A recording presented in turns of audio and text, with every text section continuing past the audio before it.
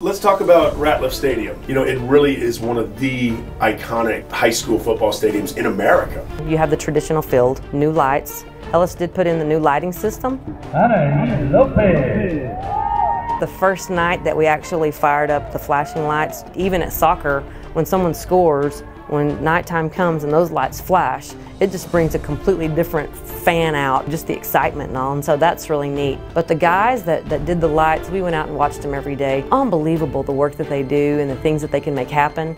Um, it just brings a, just a different aspect to the stadium, you know, when it comes game time. You know, Ratliff Stadium here in Odessa has been the site for some classic games through the years. It's home to both the Odessa High Broncos and the Permian Panthers.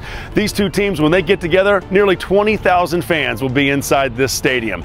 Now, this was actually named one of the top 10 facilities for a high school football stadium back in 2001 by USA Today. Ratliff Stadium is very special. The facility is amazing because once you walk down that ramp and you walk out on the field, it's just it's spectacular. The, you know, we want to try to, to put as many people out there as we can. Like our Permian OHS game this year, you know, we filled the stadium. And it's all about the kids, you know, and so that was what was fun about it. Let's talk about the relationship with Hellas coming in, installing uh, Fusion at the three middle schools, but also Matrix Helix synthetic turf at OHS, at Permian, and at Ratliff Stadium. So really a big project here for Hellas. Hellas has been here before, and so it was a pretty much no-brainer for us um, with ECISD. An assistant superintendent said, let's go for it because it's needed. We presented it to the school board and luckily Mark Ball jumped on it, laid it all out for me and had it all ready. Hellas is great when it comes to just the building the relationship with their customer, and they're great with customer service. I had been uh, very aware from being a coach at OHS and then going into uh, this position here, which I was the assistant athletic director for several years,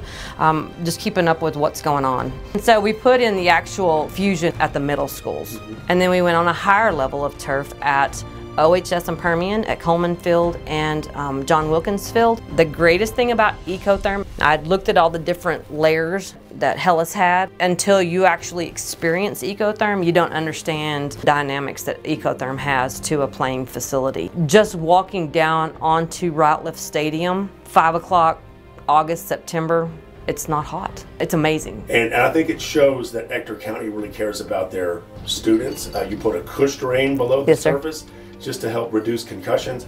So maybe just a final thought about going all out and doing things right in the district.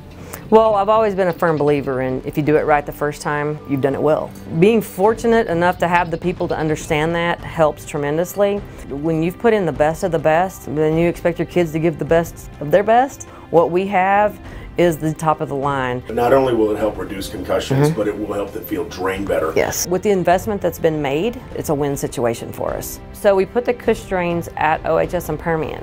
Just the impact was huge.